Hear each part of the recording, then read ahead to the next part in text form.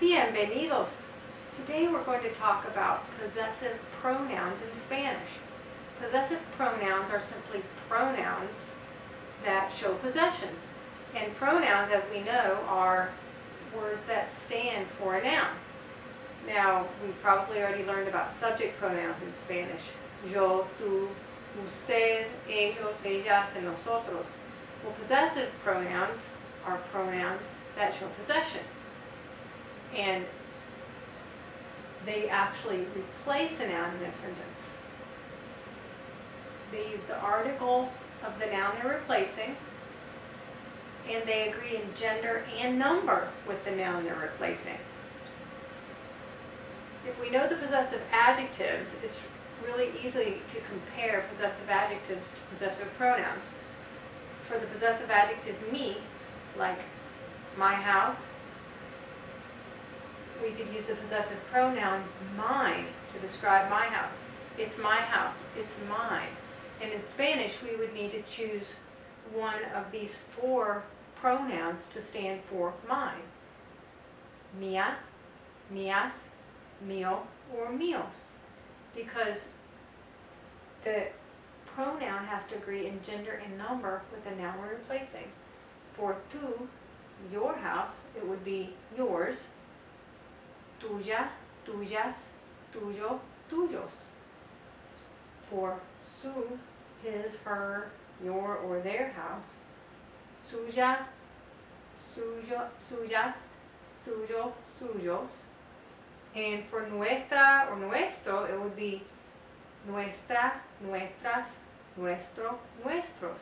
And of course in Spanish, house is casa, feminine singular, so we would be choosing the feminine singular forms of these if we were talking about house. Like for me, it would be mia, mine, mia.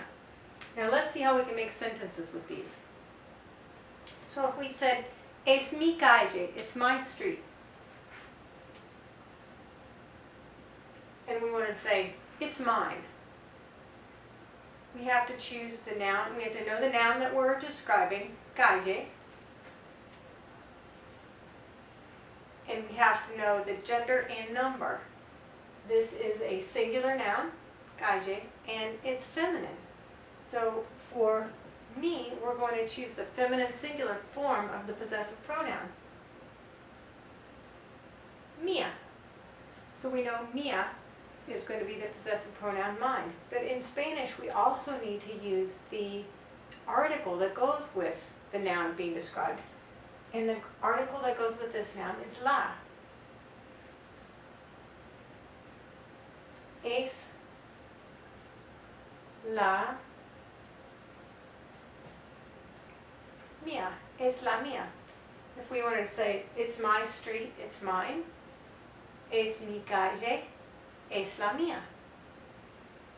Let's do another example. Son tus carros. So they're your cars, they're yours. Which noun are we describing here? We're describing carros. What's the gender and number of carros? Carros is plural, carros is masculine. So for the tu possessive pronoun, we need to choose the singular masculine form sorry, the plural masculine form. Tuyos.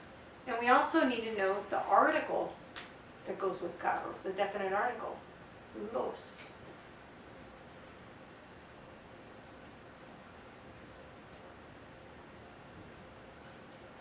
Son los tuyos. Necesito su libro. I need his book. In Spanish, su can mean his, her, their, or your formal. So a lot of times instead of using su, the uh, Spanish sentence is going to be necesito el libro de Alejandro.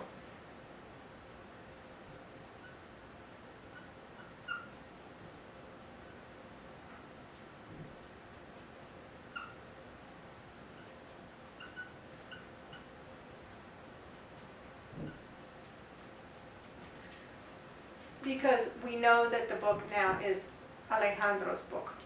In this sentence, it's hard to tell who the book belongs to. But if we're in the uh, context of a conversation and, and we know whose book we're talking about, then this might be clear. If to make it more clear, though, usually in Spanish, we would say necesito el libro de Alejandro, and we'll tell specifically who it belongs to. But in the topic, in the context of a conversation, this might make complete sense. And if we wanted to say, I need his book, I need his, then we would need the um, form of the possessive pronoun that goes with libro. Libro is masculine, libro is singular. So we need the masculine singular form of su. Suyo. And we also need the article that goes with libro, el. Necesito el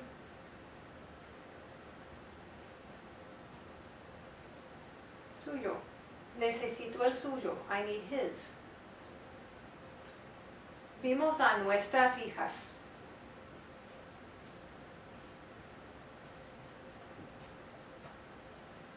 We saw our daughters. With the word we're describing is hijas. It's plural, it's feminine. So we need the feminine plural form of the our, nuestra uh, possessive pronoun. And in Spanish, it's going to be exactly the same as the possessive adjective. Nuestras.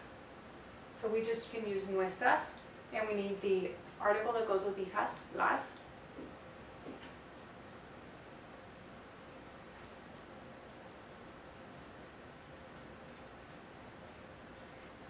Vimos a las nuestras.